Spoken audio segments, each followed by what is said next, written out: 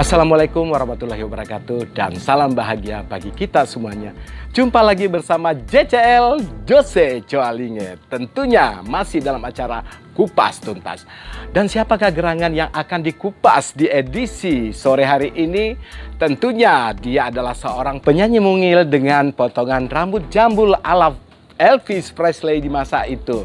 Dia adalah Lili Suryani. Lili Suryani lahir 22 Agustus 1948. Tubuhnya yang mungil sepertinya tidak kuasa menyangga suara merdunya yang bening dan lantang berkumandang. Siapa sangka bahwa Lili Suryani kecil ketika itu masih menginjak usia 12 tahun sudah terjun di dunia musik dan pada usia 14 tahun sudah menginjakan kaki di istana negara menyanyikan lagu Cai Kopi. Dia adalah satu-satunya penyanyi paling muda di antara penyanyi-penyanyi lainnya seperti Bing Slamet, Niles Mana, Titi Puspa, dan Mas Nun. Ada cerita menarik yang JCL harus berbagi kepada sahabat JCL tentang Cai Kopi. Lagu ini sudah populer dinyanyikan oleh Lili Suryani dan sangat disukai oleh Bung Karno. Dan Bung Karno menghampiri Lilis. Siapa penyanyi yang akan menyanyikan lagu Cai Kopi ini? Ternyata Lili Suryani si imut ini gemetar karena baru bertatap muka dengan seorang presiden yang sangat luar biasa di masa itu dan seperti ada dorongan untuk menyanyikan dengan sangat ekspresi sekali untuk persembahan kepada Sang Paduka Soekarno. Pada tahun 1963, di usia 15 tahun, Lili Suryani sudah tampil bernyanyi di TVRI Stasiun Pusat Jakarta. Pada tahun yang bersamaan, Lili Suryani mendapat kesempatan masuk dapur rekaman untuk pertama kalinya di perusahaan rekaman Irama Mas Pimpinan Mas Yos. Muncullah lagu Cai Kopi dan Dikala Malam Tiba. Kedua lagu ini sangat populer di masa itu. Lili Suryani sebagai pendatang baru yang patut diperhitungkan karena lagu Cai Kopi dan Dikala Malam Tiba menjadi hits dan mulailah muncul album-album lainnya dalam bentuk piringan hitam maupun pita kaset di masa itu. Nama Lili Suryani selalu dikait-kaitkan dengan Bung Karno yang sangat mengaguminya. Dan Lilis adalah salah satu penyanyi reguler Istana Negara di masa Orla. Lili Suryani bersama Bing Slamet, Titi Puspa, Jack Lesmana mempopulerkan irama lenso yang dianggap Bung Karno adalah musik berbudaya Indonesia. Lili Suryani selalu buktikan cinta negara saat konfrontasi Indonesia dengan Malaysia. Menciptakan lagu tema patriotik seperti Tiga Malam, Baju Loreng, Mohon Diri, Pergi Berjuang, dan Kau Pembela Nusa dan Bangsa. Sahabat JCL pasti ingat lagu Gang Kelinci seperti ini lagunya. Jakarta, kotaku indah dan megah Di situlah aku dilahirkan Rumahku di salah satu gang. Namanya Gang Kelinci. Entah apa sampai namanya kelinci. Mungkin dulu kerajaan kelinci. Karena manusia bertambah banyak Kasihan kelinci terdesak Sekarang rumahnya berjubel dan lagu ini diciptakan oleh Titi Puspa. Ada cerita menarik di balik lagu Gang Kelinci ini, di mana Titi Puspa terinspirasi di saat mengantar Lili Suryani pulang ke rumahnya di Gang Kelinci memakai becak. Dan di sepanjang Gang Kelinci, eh, yang Titi Puspa melihat banyak sekali anak-anak bergerombol serta rumah bercubal sangat padat sekali di masa itu. Maka eh, yang Titi Puspa terinspirasi untuk menciptakan lagu Gang Kelinci untuk Lili Suryani. Kelebihan dari Lili Suryani yang sangat disukai oleh Bung Karno adalah Lili Suryani sangat fasih menyanyikan lagu berbagai daerah. Makassar, Betawi, Sunda, Minang, dan lain-lain sebagainya. Pada pertengahan tahun 1960-an, Lili Suryani dan Bing Slamet masing-masing pernah menyanyikan lagu Genjer Genjer yang diciptakan oleh M. Arif. Konon lagu ini adalah penggambaran kondisi dan situasi di zaman penjajahan Jepang di era tahun 1940. Dan pada tahun 1965, betul saja lagu ini dilarang oleh masa Orde Baru karena bertepatan saat itu lagu ini diklaim sebagai lagu mars dari organisasi Partai Komunis Indonesia di masa itu. Yang mungkin saja di masa sekarang ini lagu Genjer-Genjer juga dilarang oleh pemerintahan Indonesia. Kepopuleran nama Lili Suryani bukan saja hanya di Indonesia, tapi sudah merambah di negeri jiran. Dan juga negara-negara lainnya seperti Singapura, Filipina, dan bahkan beberapa album dari Lili Suryani direkam di negara Singapura, di perusahaan rekaman Philips dan Popson. Dan album-albumnya yang beredar di beberapa negara termasuk Indonesia dicetak ulang kembali oleh Malaysia. Sehingga nama Lili Suryani sangat terkenal di negara Malaysia. Lili Suryani tak hanya dikenal sebagai penyanyi solo, tapi juga beberapa seniman berduet, terutama seniman daerah.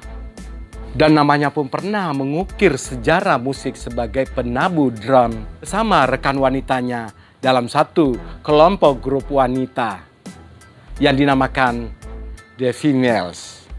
Personelnya antara lain selain Lili Suryani, Rita Rahman, Rose Sumanti, Ineke Nasution, Dace Tambunan. Sayangnya, grup band wanita ini yang dibentuk pada tahun 1968 hanya seumur jagung. Dan The Females akhirnya bubar dan masing-masing personilnya bersolo karir.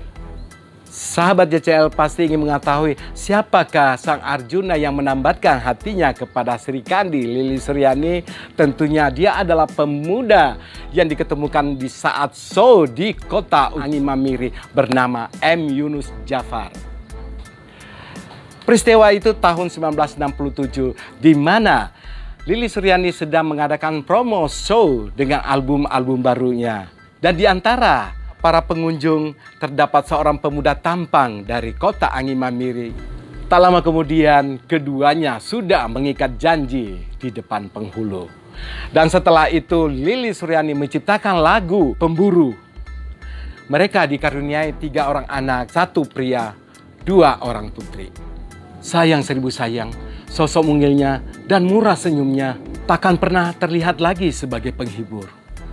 Karena jiwanya sudah damai sejak kepergiannya pada tanggal 7 Oktober 2007.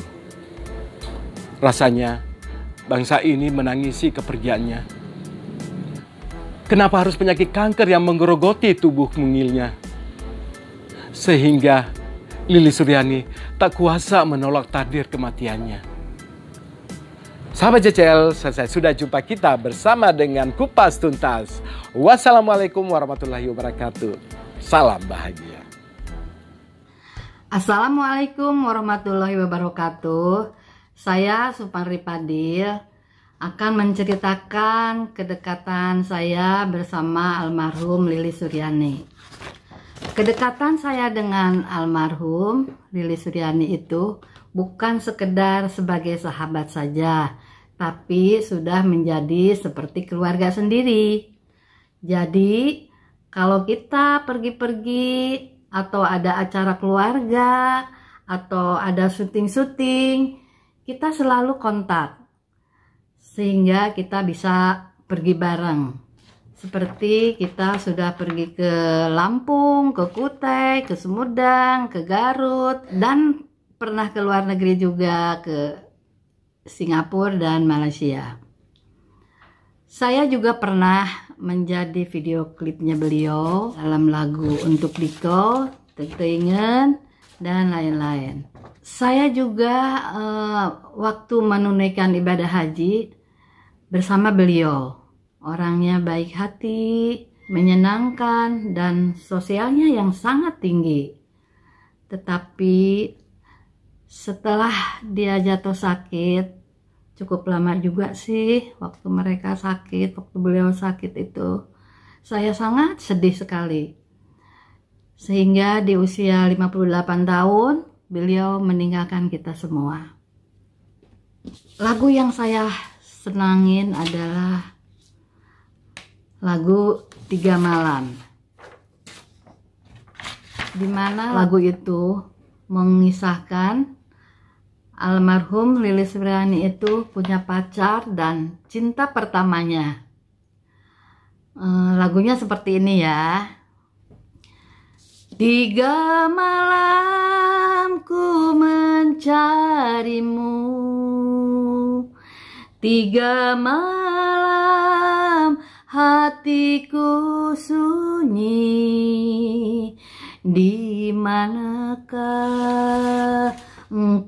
sayang Ku inginkan lekas kau pulang. Tapi kini tak ku temui. Berangkatlah aku berdua Ke medan bakti. Kita berjanji kita akan berjumpa lagi. Ku ingin bibirmu sayang Tuk melepas daku berjuang Relakan aku oh kasih membela nusa dan bangsa. Nah, ini lagu kesayanganku dari almarhum Lili Suryani. Semoga almarhum Lili Suryani sudah bahagia bersamanya, mendapatkan tempat yang layak di sisinya.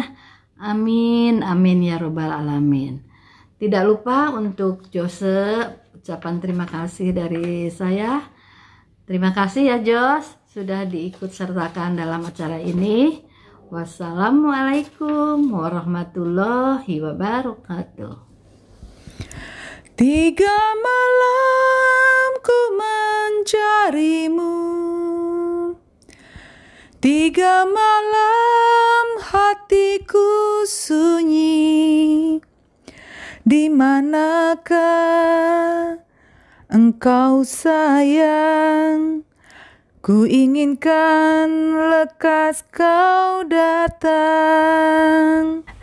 Tapi kini tak ku temui.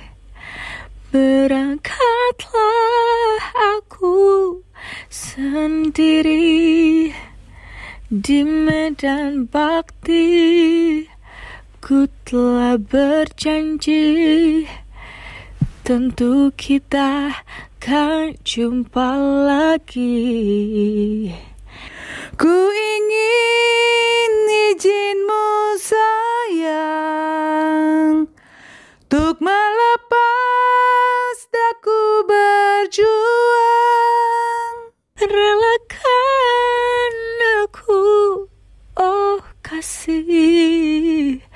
Membela nusa dan bangsa.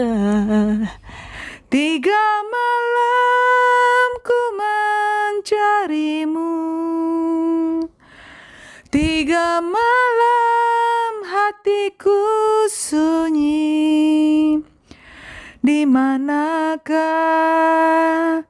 engkau sayang Ku inginkan lekas kau datang. Tentengan kunaon ngantunkeun abdi. Tentengan naon kalepatan diri. Unggal dinten henteu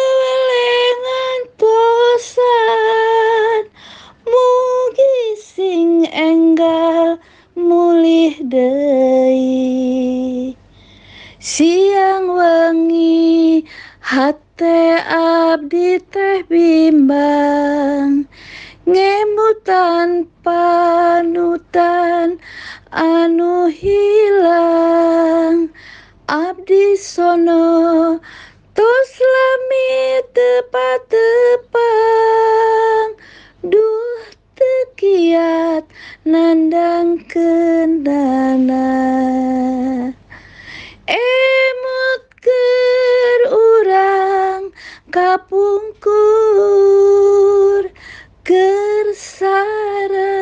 Check the mic and make sure it sounds.